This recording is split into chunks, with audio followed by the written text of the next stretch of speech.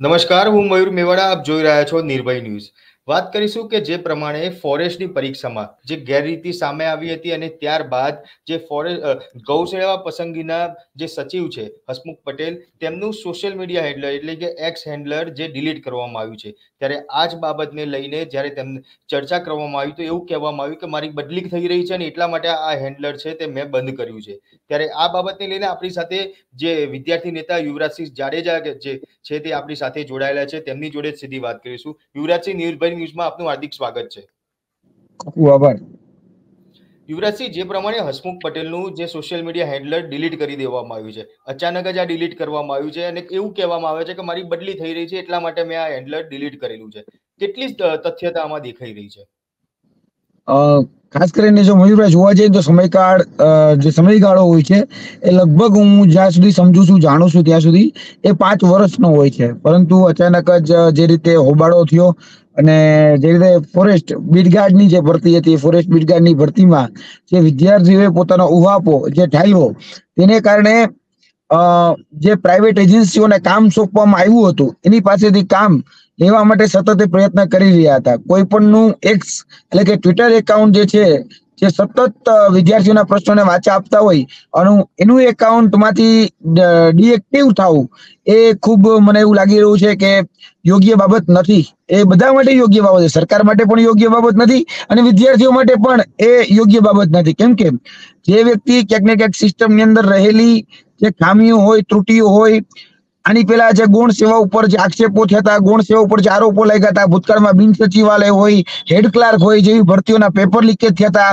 અને પછી એની છબી બહુ ખરડા રહી હતી, અતિશય. અને જે તે સમયના ભરતી બોર્ડના ચેરમેને રાજીનામું આપવું પડ્યું કેમ કે ટેન્ડરમાં સૌથી વધારે ભરતી કૌભાંડ અને ભરતી ગોટાળા એ ગૌણ સેવામાં થયા હતા. તો ભૂતકાળમાં આ બધી જે બાબતો હતી, એને કારણે ગોળ સેવાની છબી જે હતી ને ખરડાઈ ગયેલી હતી. તો એ છબી સુધારવા માટે આ જે કહી શકાય કે હસમુખભાઈ પટેલ હતા, એ પ્રયત્ન કરી રહ્યા હતા. એટલે કે એ ભરતી બોર્ડના અધ્યક્ષ નહોતા. એ અધ્યક્ષ અત્યારે કમલ દયાણી છે. ચાર્જ જેને સોંપવામાં આવ્યો છે, અસિત વોરા પછી એ કમલ દયાણીને સોંપવામાં આવેલો છે. એટલે વર્તમાનના ભરતી બોર્ડના અધ્યક્ષ એ કમલ દયાણી છે. અને સચિવ જે છે, એ આદરણીય હસમુખભાઈ પટેલ હતા, જે બધી જ માહિતીઓ આપતા હતા. અત્યાર સુધી તમે જેટલા પણ ગુણ સેવાના લેટર જોશો ને, એમાં હસમુખ પટેલની સાઇન હોય. હસમુખ પટેલ દ્વારા જ એ બાર લેટર આવતા હોય. પરંતુ છેલ્લા બે દિવસથી એ ઘટનાક્રમ જાણો કે એના જે લેટર જે બહાર નીકળે છે, એમાં ગુણ, સેવા, પસંદગી, મંડળ એટલું લખેલું આવે છે. એમાં ન સચિવનું નામ, ન તો એમાં ભરતી બોર્ડના અધ્યક્ષનું નામ, કોઈનું નામ લખવામાં નથી આવતું. એટલે ક્યાંક ને ક્યાંક લાગી રહ્યું છે કે આ બધું જ કહેવાય ને કે નોર્મલ જે નથી ચાલતું, એ આ એની સાઇન છે. અને જયારે ફોરેસ્ટ બીટગાર્ડ નો પ્રશ્ન ઉપસ્થિત થયો, ત્યારે અમે ગૌણ, સેવા, પસંદગી, મંડળ ગયા હતા અને ગૌણ, સેવા, પસંદગી, મંડળમાં જ્યારે અમે હસમુખ પટેલ સાહેબ સાથે ચર્ચા કરી, વાત કરી, તો એવું નથી કે ખાલી વાંક ખાલી એ કહેવાય ને જે એજન્સીને કોન્ટ્રાક્ટ આપવામાં આવ્યો એનો જ છે. વાંક ઘણા બધા લોકોનો છે, કારણ કે પરિબળો ઘણા બધા એના માટે જવાબદારો છે. અમુક એવા વિદ્યાર્થીઓ છે જે હસમુખ પટેલને ટ્રોલ કરે છે, જવાબદાર એ પણ છે. એના ઉપલી જે અધિકારીઓ છે, જે સતત પ્રેશર કરી રહ્યા છે હસમુખ પટેલ સાહેબ ઉપર, કે તમે જલ્દી આ ભરતી છે એ પતાવો. કેમ કે આપણે જે કંપનીને કોન્ટ્રાક્ટ આપ્યો હતો એના બિલ ચૂકવવાના છે. એટલે આમાં કોન્ટ્રાક્ટ કોને આપવામાં આવ્યો હતો? તો કે કોન્ટ્રાક્ટ આપવામાં આવ્યો હતો ટીસીએસ ટીસીએસ કોની કંપની? તો કે ભાઈ ટાટા કન્સલ્ટન્સી એ ટાટાની કંપની છે. ટાટા ફંડ કોને આપે? ટાટા ફંડ જે છે એ પીએમ કેર ફંડમાં પણ આપે અને ભારતીય જનતા પાર્ટીને ઇલેક્ટ્રોલ બોન્ડના નામે આપે. તો હવે આ જે કોર્પોરેટ છે, એ કોર્પોરેટ કોનું સારું ઈચ્છવાના? સરકારનું કે વિદ્યાર્થીઓનું? બટ ઓબિયસ છે, એ સરકારનું સારું ઈચ્છે કારણ કે આ કોર્પોરેટે જે રમકડાને ચાવી ભરી અને માર્કેટમાં રમતું મૂક્યું છે એ રમકડું અત્યારે ક્યાંક ને ક્યાંક સત્તામાં છે. તો બધા એવું કે છે ને કે ભાઈ સત્તા જે છે નેતાઓ ચલાવે છે, સત્તા છે બ્યુરોક્રેટ ચલાવે છે, પણ આપણા ભારતમાં એવું નથી. સત્તા જે છે ને એ સત્તા એ આ કોર્પોરેટ જે છે ને એ ચલાવે છે. એ જેને ઈચ્છા પડે એ રમકડાને ચાવી ભરે અને એ રમકડું માર્કેટમાં રમતું થઈ જાય. આ હકીકત છે. ભલે કોઈ સ્વીકારે, ન સ્વીકારે એ વાત બે નંબરની છે. પણ આ કોર્પોરેટ જે છે ને એ આખી આ પ્રણાલીને ચલાવે છે. નેતાને પણ એનું કયું માનવું પડે છે? એટલે નેતા કહી શકાય કે જે કોર્પોરેટ જે છે, એ કોર્પોરેટ સીધા ઉપર ફોન કરે કે ભાઈ અમારા બિલ પાસ નથી કરતા. હવે ભરતી બોર્ડમાં જેની પાસે જવાબદારી હતી એવું કહેતા હતા કે ભાઈ, તમે જે પેપરો લીધા, એમાં અસંખ્ય છબરડા સામે આવ્યા છે. હવે છબરડા સામે આવ્યા છે, તમે અમને ભૂલ સુધારી દો તો અમે તમને પેમેન્ટ કરીએ. તો હવે પેમેન્ટ થતું નહોતું અને ઉપર વાળા પ્રેશર કરતા હતા. કોર્પોરેટ કંપની સીધી ઉપર પહોંચી ગઈ કે મારું પેમેન્ટ અટકાવીને રાખ્યું છે. એટલે આમાં ભોગ એ હસમુખભાઈ પટેલનો લેવાશે એવું મને લાગી રહ્યું છે. જી. આમાં યુવરાજસિંહ હસમુખભાઈ પટેલ, હસમુખ પટેલ જે ખરી, હસમુખ પટેલનો આ જે આખો છબરડો બહાર આવ્યો ફોરેસ્ટ પરીક્ષાને લઈને જે છબરડો બહાર આવ્યો છે. તો એમાં હસમુખ પટેલની ક્યાંક ને ક્યાંક બેદરકારી તો ચોક્કસ કહી શકાય. છબરડો થયો તે છબરડામાં હસમુખ પટેલે ધ્યાન ના આપ્યું. ટીસીએસ કંપનીને આ આખો કોન્ટ્રાક્ટ આપવામાં આવ્યો હતો, જે પ્રમાણે આપ કહી રહ્યા છો. એ કંપની દ્વારા જે છબરડો થયો, તો એની સીધી સીધી જવાબદારી હસમુખ પટેલની આવે કે ના આવે?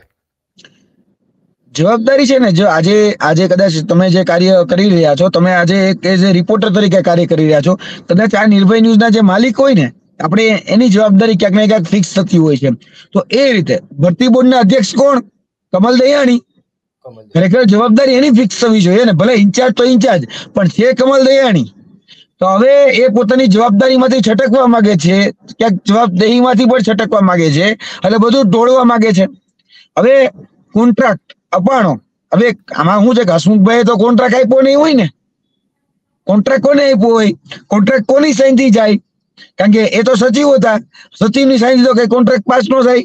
હું હસમુખ સાહેબની જરા પણ ફેવર નથી કરતો. હું એને પણ દોષિત માનું જ છું. કેમ કે ચલો એને પરીક્ષા લીધી. આ છે વાત બધી હું તમને એમ કહું કે ચલો આપણે એને માની લઈએ. પણ એને કોન્ટ્રાક્ટ આપનાર જે સંસ્થા, ટૂંકમાં જે વ્યક્તિ છે એ ભરતી બોર્ડના અધ્યક્ષ છે. એટલે ક્યાંક એ જવાબદાર થાય. હવે જે તે સમયે ટ્વિટરના માધ્યમથી એક્સના માધ્યમથી વિદ્યાર્થીઓને સાંત્વના આપવાનું કામ, વિદ્યાર્થીઓને હૈયાધારણા આપવાનું કામ એ હસમુખભાઈ પટેલે કર્યું. વિદ્યાર્થીઓને સતત અપડેટ આપવાનું કામ એ હસમુખભાઈએ કર્યું.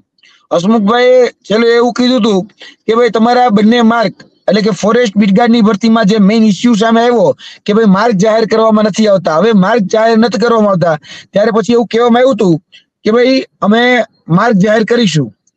તો પછી છ તારીખની અપડેટ આવી કે ભાઈ છ તારીખે અમે માર્ગ જાહેર કરીશું. હવે નવ તારીખની અપડેટ આવી. પેલા એવી અપડેટ આવી હતી કે ભાઈ જે આઠ ગણા ઉમેદવારને પાસ કરવામાં આવ્યા છે ને, એની જગ્યાએ પચીસ ગણાને બોલાવીશું. પછી એવી નવી અપડેટ આવી અમે ચાલીસ ગણાને બોલાવીશું. એટલે ઘણી બધી જગ્યાએ અસમંજસતા, અસ્પષ્ટતા એ સામે આવતી હતી. કારણ કે જે વ્યક્તિ કમિટમેન્ટ કરી રહ્યા હતા, એના કમિટમેન્ટ ઉપરથી ક્યાંક પાસ નહોતા થઈ રહ્યા. એટલે હવે કોઈ વ્યક્તિના નામથી જ્યારે ટ્વીટ થતું હોય તો ત્યારે એમ એમ આપણે વિચારતા હોય કે ભાઈ રિસ્પોન્સિબલ પર્સન છે જવાબદાર અધિકારી છે, તો એ કહેતા હોય તો થોડું ખોટું હોય. એવું બને. પણ એને જે આંગળી ચીંધનાર અથવા તો એમને જે કેનાર જે વ્યક્તિઓ હતા, બરાબર? એ વ્યક્તિઓએ હાથ અધર કરી લીધા છે. એના જે ઉપર જે ઉપલી અધિકારીઓ છે એને હાથ અધર કરી લીધા. હવે ટીસીએસ જેવી કંપની એ શું વિચારે? ટીસીએસ જેવી કંપનીને તો નફાથી જ મતલબ છે.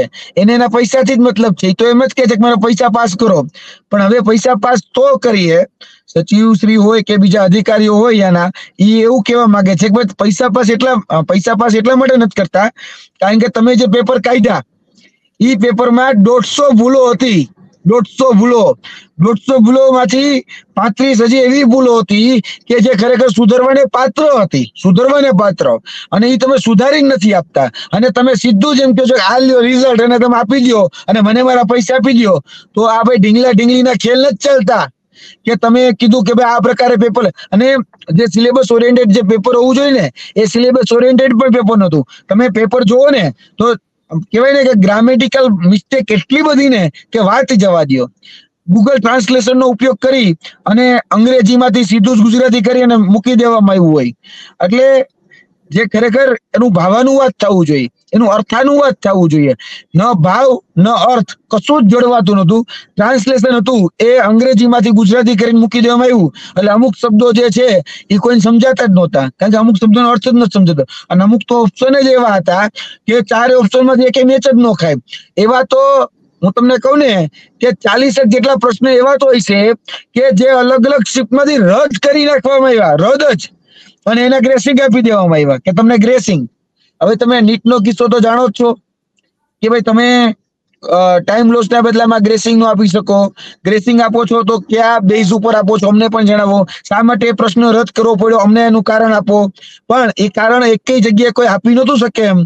એટલે જે એનટીએ, જે સંસ્થા હતી નેશનલ ટેસ્ટિંગ એજન્સી એને શું કર્યું? કે અમે ગ્રેસિંગ પાછું ખેંચીએ છીએ. આ પંદરસો ત્રેસઠ જે ઉમેદવારો હતા, એની મેં ફરી પરીક્ષા લઈશ આવું એને કીધું હતું. આમાં શું કરશે? આમાં એ લોકો ગ્રેસિંગ આપે છે, પ્રશ્નોને રદ કરે છે. આજે પ્રશ્ન જે રદ પાત્ર નહોતો અને વિદ્યાર્થીનો પ્રશ્ન રદ કરી નાખે ને, એટલે એક પ્રશ્નના બે માર્ક હોય.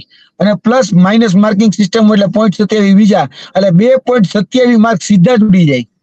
હવે આ આ જે સ્પર્ધાત્મક પરીક્ષાની રમત હોય ને એ સ્પર્ધાત્મક પરીક્ષાની રમતમાં ઝીરો પોઈન્ટ ઝીરો બે માર્કનું વેરિએશન આવે ને, તો આખું મેરિટ અપડાઉન થઈ જાય. કોઈ મેરિટમાંથી ઇન થઈ જાય, કોઈ મેરિટમાંથી આઉટ થઈ જાય. અહીં તો બબે માર્ક, એક એક પ્રશ્નના ઉડી જતા હતા સીધા. એવા ચાલીસથી પચાસ પ્રશ્નો તો રદ કરી નાખ્યા લોકોએ. હવે જવું તો જવું ક્યાં? એટલે ફોરેસ્ટ બ્રિગેડ વાળો પણ પ્રશ્ન અલગ છે હસમુખભાઈ નો પણ પ્રશ્ન અલગ છે. હસમુખભાઈ એમ કીધું કે તમે મને ફોરેસ્ટ બ્રિગેડમાં જે વિદ્યાર્થીઓની પાસેથી અમને ફીડબેક મળ્યા છે, જેમાં એને ઓથેન્ટિકેટેડ પુરાવા અમને આપ્યા છે, કમસે કમ તમારે એટલા પ્રશ્ન અમને સુધારી દેવા પડશે. કેમ? કારણ કે અમે ક્રોસ વેરીફાઈ કરી ચૂક્યા છીએ. એ પ્રશ્નમાં વિદ્યાર્થીઓ સાચા છે. હવે ટીસીએસ એ પ્રશ્નો સુધારવાની તો સદંતર ના પાડે છે. હવે જવું તો જવું કે એમાં સુડી વચ્ચે સોપારી હસમુખભાઈ ની થઈ, કારણ કે વિદ્યાર્થીઓ હસમુખભાઈ ને ઓળખે.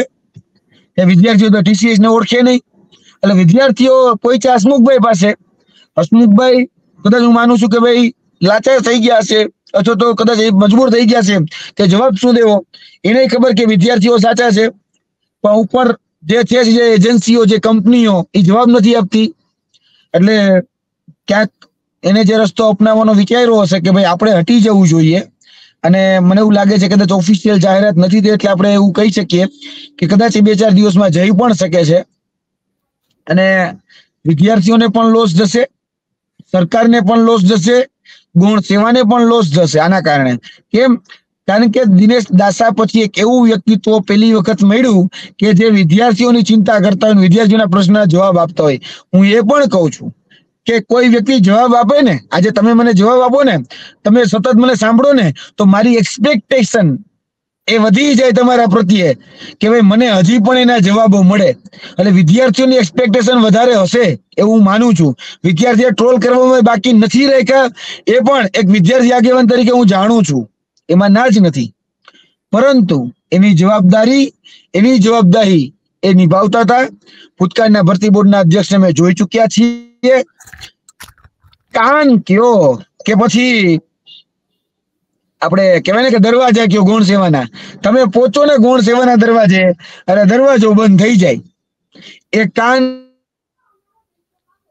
સાંભળે નહીં અને દરવાજાથી તમને ઘરે મોકલી દેતા. કોઈ સાંભળતું જ નહોતું. ગણકારતું નહોતું. ત્યારે વિદ્યાર્થીની દિવસો યાદ નહીં આવે કે ભૂતકાળના ભરતી બોર્ડના અધ્યક્ષ એને એને એને પગથિયું ચડવા નહોતા દેતા. આ કમસે કમ સાહેબ તમને ટ્વિટરના માધ્યમ તમને ઘરે બેઠે પ્રશ્નોનો જવાબ આપતા હતા. તમે એવા પ્રમાણિક કે ઈમાનદાર કે કર્તવ્યનિષ્ઠ જે પણ તમે ગણો તે, કારણ કે લોકોની દ્રષ્ટિકોણ પ્રમાણે લોક કદાચ ઘણા લોકોને સારા લાગે, ઘણાકને ખરાબ લાગે, જેને જે ગણવું એ ગણે, પણ એ કમસે કમ જવાબ તો દેતા હતા. હવે કદાચ એ કર્તવ્યનિષ્ઠ કે કર્મનિષ્ઠ જે અધિકારી છે એ હવે આપણે ટ્વિટરમાં કે બીજા અન્ય કોઈ માધ્યમની જવાબ દેતા નહીં જોવા મળે. નુકસાન એ બધાનું છે એમાં પણ બાપુ, આમાં સવાલ એક ઊભો થાય છે કે જે પ્રમાણે વિદ્યાર્થીઓએ જે વાત કરી હતી કે તેમના માર્ક્સ છે તે જાહેર કરવામાં આવે, તેમના જે ગુણને જાહેર કરવા માટે અત્યાર સુધીની જે તારીખો આપવામાં આવી પહેલા છ તારીખ આપી, હવે નવ તારીખ આપવામાં આવી છે. અને જો એ પહેલા હસમુખ પટેલની જો બદલી કરી દેવામાં આવશે, એમનું કેવું છે કે એમને પ્રમોશન મળવાનું છે અને એટલા માટે એમની બદલી થવાની છે. પણ જો એ જ રીતે એમને ખરેખર પ્રમોશન મળ્યા બાદ તેમની જો ત્યાંથી બદલી થશે, તો હવે પાછી નવી કોઈ તારીખ આવે એવું લાગે છે કે ખરેખર નવ તારીખે વિદ્યાર્થીઓને જે ગુણ જાહેર કરવાની વાત છે એ જાહેર થશે આ વખતે? એમાં પણ ઘણા બધા કહેવાય ને કે ભાઈ ડાઉટ્સ છે. અને ડાઉટ્સ એટલા માટે છે કેમ કે જે માર્ક જાહેર કરવાના હતા, કારણ કે જે પરીક્ષા પદ્ધતિ હતી ને પરીક્ષા પદ્ધતિ હતી CBRT computer base recruitment test અને એના આધારે પિસ્તાલીસ શિફ્ટમાં આ પરીક્ષા લેવામાં આવી હતી. સવાર, બપોર, સાંજ, એમ પંદર દિવસ સુધી કે પંદર દિવસ કરતા વધારે દિવસ સુધી આ પરીક્ષાઓ ચાલી હતી.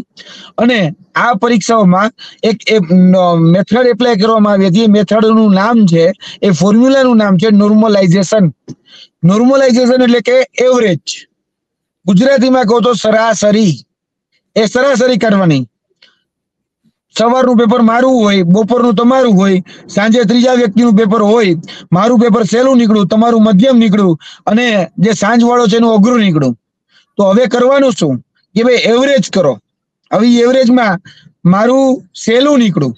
તો મારા માર્ક જે વધારે આવે, ધારો કે મારે સાઠ માર્ક આવ્યા તો મને પચાસ સુધી લોકો નીચે ખેંચી જાય.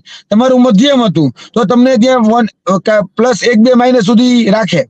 અને જેનું અઘરું હતું, જેને ચાલીસ જ આવ્યા એના માર્ક એ લોકો વધારી દે. આને કહેવાય સરાસરી, આને કહેવાય નોર્મલાઇઝેશન અને આવું નોર્મલાઇઝેશન આ ભરતીઓમાં લગાડવામાં આવ્યું છે.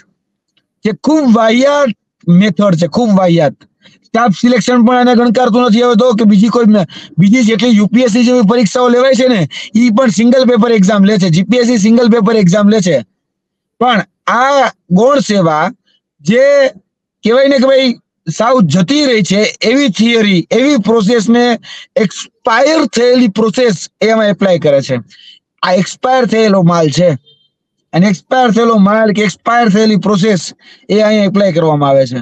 જ્યારે બહુ કરોડો કેન્ડિડેટ સ્ટાફ સિલેક્શનમાં શું થાય? કે ભાઈ દસ લાખ હોય, પચાસ લાખ હોય અને એક એક કરોડ લોકો સુધી પરીક્ષા આપે છે.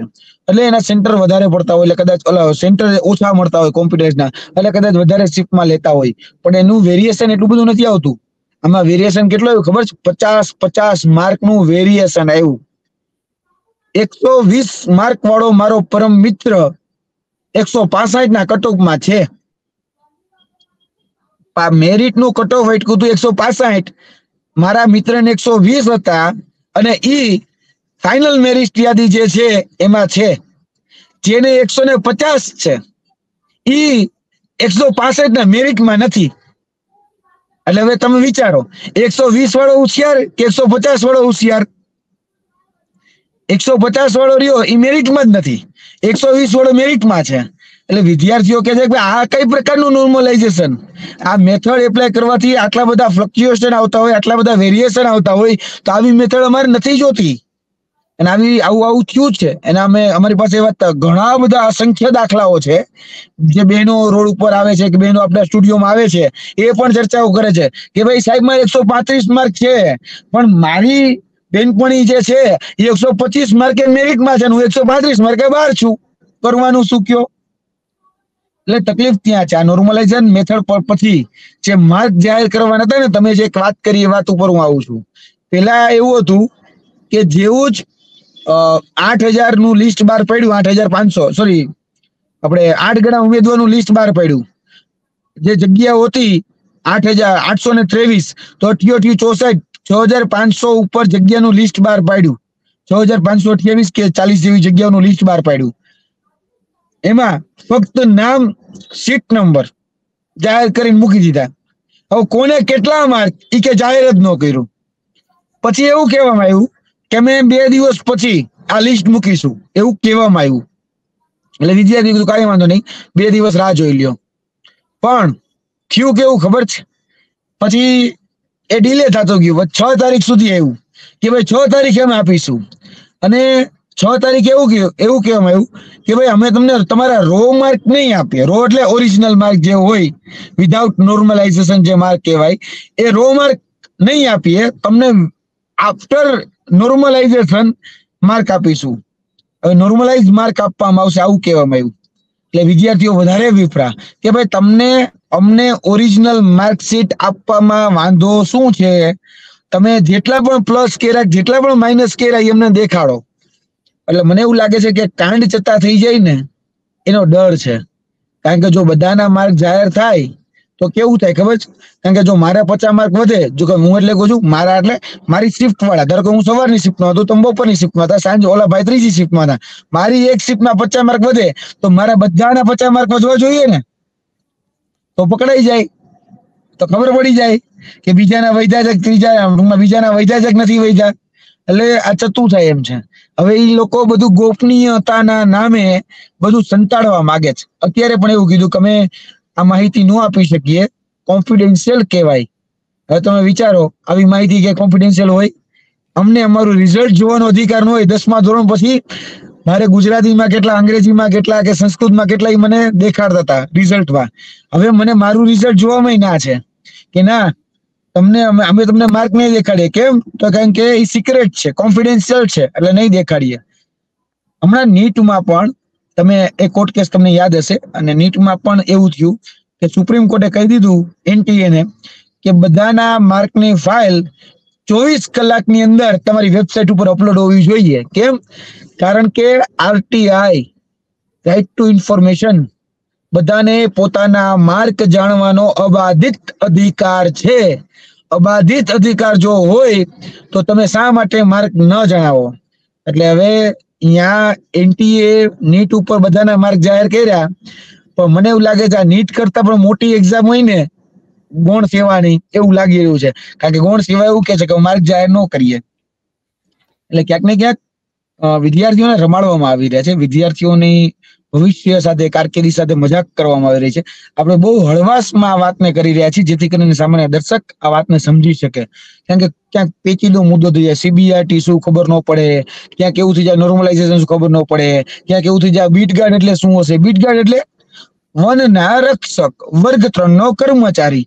જે આપણે, જે કહી શકાય કે વન અને પર્યાવરણ જે મંત્રાલય છે, એના અંતર્ગત વર્ગ ત્રણની સૌથી લોએસ્ટ કેડરની આ પોસ્ટ છે. એટલે આ સૌથી લોએસ્ટ કેડરની પોસ્ટમાં અત્યારે પગાર છવ્વીસ હજાર હતો બાકી તો અઢાર હજાર જ હતો.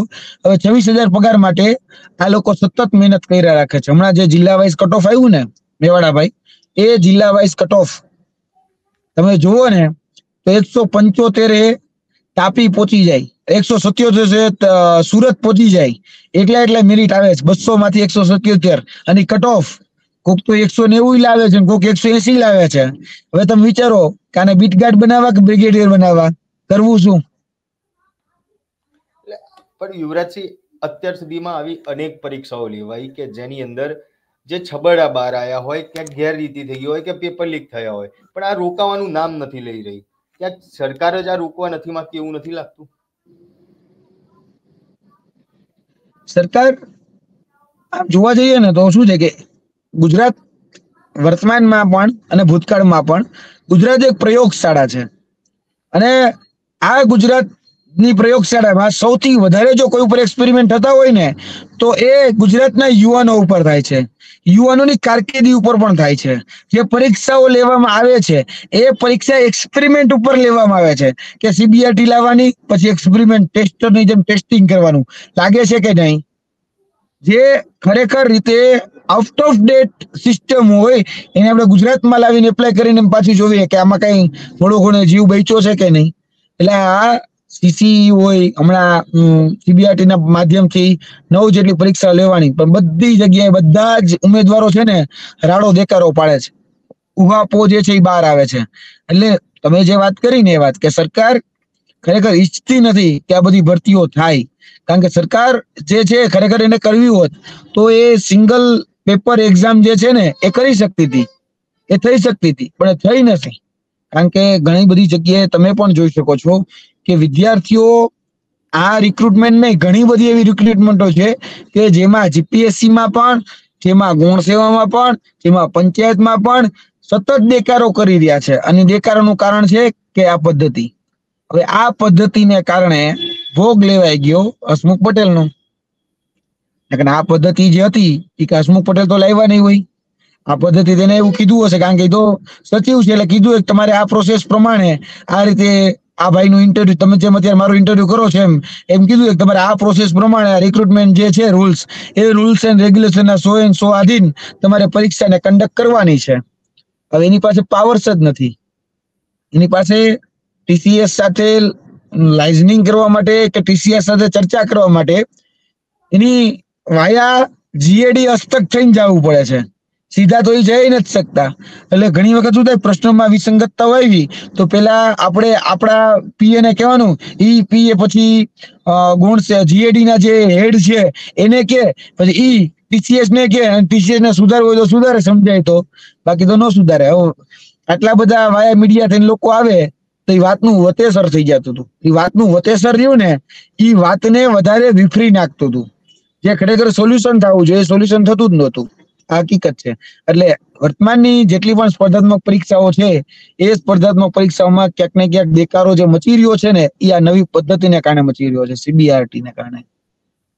બિલકુલ ખાસ કહી શકાય કે જે પ્રમાણે જે નવી પદ્ધતિ, એટલે કે જે સીબીઆરટી પદ્ધતિ લાવવામાં આવી છે, એના જ કારણે ક્યાંક અત્યારે જે આ ઉભાડો છે, વિદ્યાર્થીઓ છે, તેમની જોડે અન્યાય થતો હોય તેવું ચોક્કસ લાગી રહ્યું છે. અને ખાસ કરીને જો કહેવાય કે જે રીતે હસમુખ પટેલનું જે ટ્વિટર હેન્ડલ એકાઉન્ટ જે ડિલીટ કરી દેવામાં આવ્યું છે અને એવું કહેવામાં આવી રહ્યું છે કે તેમની બદલી થઈ રહી છે એટલા માટે આ એકાઉન્ટ ડિલીટ કરવામાં આવે છે. ત્યારે આ તમામ બાબતને લઈને ખાસ કહેવાય કે આપ શું કહેવા માંગશો, આપ શું કહેશો કે ખરેખર હસમુખ પટેલની બદલી થાય છે એટલા માટે આ ટ્વિટર એકાઉન્ટ બંધ કરવામાં આવ્યું છે કે તેમને ટ્રોલ કરવામાં આવી રહ્યા છે, તેમને સતત સવાલો કરવામાં આવી રહ્યા છે એટલા માટે આ બંધ કરવામાં આવ્યું છે. કોમેન્ટ બોક્સમાં જરૂરથી જણાવજો અને અમારી નિર્ભય ન્યૂઝ ચેનલને લાઇક શેર અને સબસ્ક્રાઇબ કરવાનું ભૂલશો નહીં. આભાર.